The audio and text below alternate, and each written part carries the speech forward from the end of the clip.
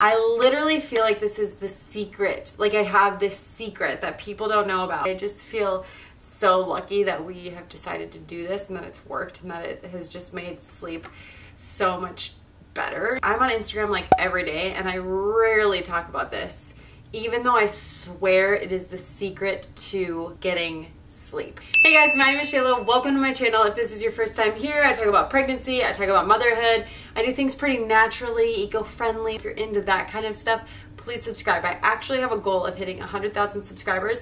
The goal was for January 2021 and I didn't hit it. But I'm of the belief of aim for 100,000, get to 95 instead of aiming for 90 and getting to 90. So here we are, still trying to get there. I'm making this video from our upstairs. We just moved to this house a couple months ago. We just finished this a couple weeks ago. So there's still like what, I don't know what you can see, but like tape measures and stuff in the back. We're just, we're just starting. Today's video, I really honestly have not wanted to make it. It is a little bit controversial. So what did I say? My title is How I Got About 125 extra hours of sleep the first year of being a mom, or whatever the title is that I come up with. When you do this, you get an extra 45 minutes a day of sleep, and I believe it. So, I'm gonna let you in on the secret, and you're either gonna go, yep, or you're gonna go, never in my life bed sharing. I swear bed sharing. There's so much I have to say about this and I'm gonna do it as like rapid fire as I can. A lot of people refer to it as co-sleeping and I did forever. I was like, yeah, we co-sleep. Apparently that's different. Apparently co-sleeping and bed sharing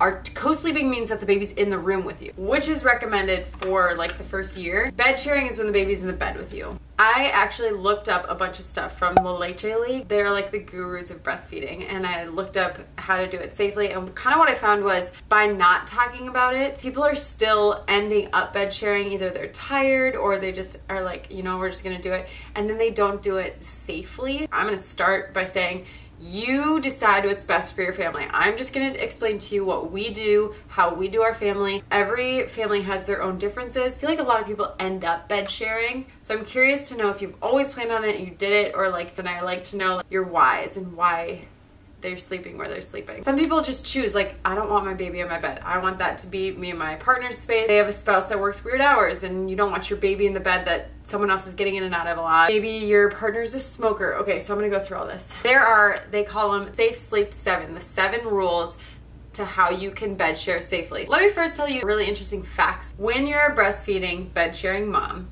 you and your baby's sleep cycles sync.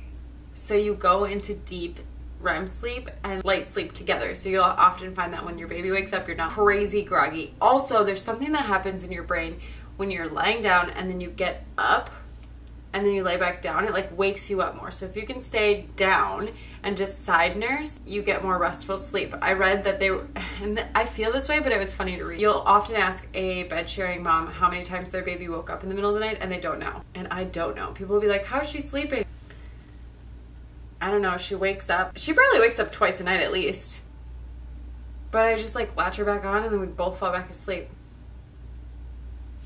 That's it. And that's why they say you get 45 more minutes of sleep because you don't have to get up, go get them. She doesn't even really get that upset because I'm just right there. We put her to bed in her on her floor bed. She sleeps on a floor bed, so we put her to bed there. And then she typically wakes up around like, I don't know, 10 or 11. And at that point I'm like, okay, I need to go to bed now. So it's kind of a nice like okay, bedtime. Just grab her and then we go into our bed and we fall asleep and again, she'll wake up a couple times and I just feed her and we fall back asleep. The thing that I was most concerned about is when she started getting mobile. She's gonna wake up and crawl off the bed. When she wakes up, she'll sit up and then she'll just kind of like look around. And I just wake up when she does that. I don't know. I just, you're just in tune. They say that Western cultures are not super set up for bed sharing. We've got really high beds. You do have to watch out for dad because dad does not have the same instincts that you do. So they call it the cuddle curl. You're basically a, big spoon, right? So your arm is out, you got your knees up like this, and then your side laying. So your baby's just breastfeeding here and laying like this. Can't get up any higher here because your arm is there. And then you've made this like cove where dad can't roll into there or like pets or whatever can't get into there. I recently thought of doing like a mean girl long sleeve breastfeeding shirt because sometimes I get cold and that's one of the safety things is you don't want to use big heavy blankets. Okay, well then I'm basically just naked all night because my shirt is half off and I'm cold. So I was like, if I could just cut like a slit right in my boobs where I could just like have that be exposed, but everything else would be like covered and warm. that might be nice. So there's seven rules to safe sleep and I'm just gonna go through them and you can decide if these things are right for you. Number one is that you're a non-smoker. Smoking apparently in the house in general, secondhand smoke can increase increase SIDS. And I read somewhere that has something to do with it interferes with the brain's ability for like lung function or breathing or something. You guys are pretty much face to face. You don't want to be breathing into your baby while they're sleeping yeah, so if you or dad are a smoker, this is probably not something that you should be doing. Second, you want to be sober. So, and I say sober because it's more than just alcohol. So you for sure don't want to be drinking alcohol because that can impair your ability to wake up. Don't want to be taking any sleeping pills or any sleep aids. Again, you or your partner. I said dad before. I mean partner, anyone else that's in the bed to not be smokers and not be uh, taking sleeping aids or drinking. You want to be a breastfeeding mother. One of the reasons is because you just like have that innate sense with your baby with the breastfeeding and the bed sharing. But the other is is that your baby stays down by your boob instead of coming up by your head and like into the pillows and stuff. It's kind of like they always just gravitate to your boob so you know where they are. As I'm editing this, I'm realizing I forgot one of the things. You don't roll onto your baby the same way that you don't roll off your bed. You learn where the edge of the bed is, you learn where your baby as long as you're not smoking, you're sober, you're not taking sleeping pills and you're breastfeeding. And I remember hearing that and being like, ah, that kind of makes sense. In the West, like in the US, we're like, it's so dangerous. The world is like, what? You put your babies in like cages at night. It's just interesting to get a different perspective because of course we're like, no, that's a crib. That's what all the babies sleep in. No big deal. You sleep with your baby in a bed? What? I think it's just cool to look at other perspectives and just to be like, okay, why do you do that? Why do you use a crib? Well, because it's safe for them. No, no parent is putting their kid in a crib to be like, here's your cage. But it's like, I feel safe. I know that I can leave them and they're not to get hurt in this crib unless they crawl out of it. Most of the time, when babies get used to cribs, they get more sleep.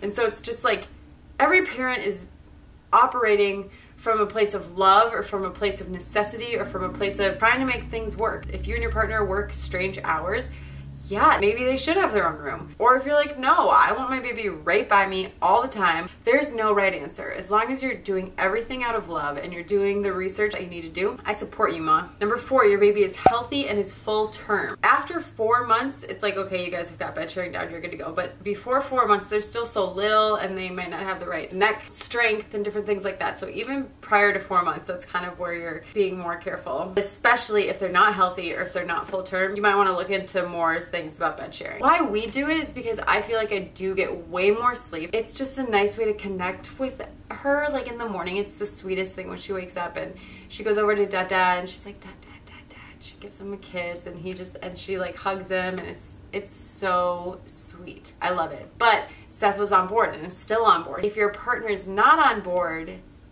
then you have to figure out something else. Your baby sleeps on their back. This typically happens when you're breastfeeding or when you're bed sharing and breastfeeding because they'll be on their side while they're nursing and then when they fall asleep, they and sometimes Aaliyah will just go and then she just lays on her back. But you want to make sure that your baby's on their back and that they're not swaddled. Okay, number six is not swaddled so that they can move around if they need to. It's lightly dressed. You just don't want them to overheat because that can increase SIDS as well. Because now you've got your body heat. And then number seven is safe surface. So that means not on the sofa, not on the recliner. And that's what these articles said. They're like, a lot of times people are like, okay, I'm not to sleep with my baby. And then they'll fall asleep on the sofa, which is more dangerous than the bed because there's so many places for baby to like fall into.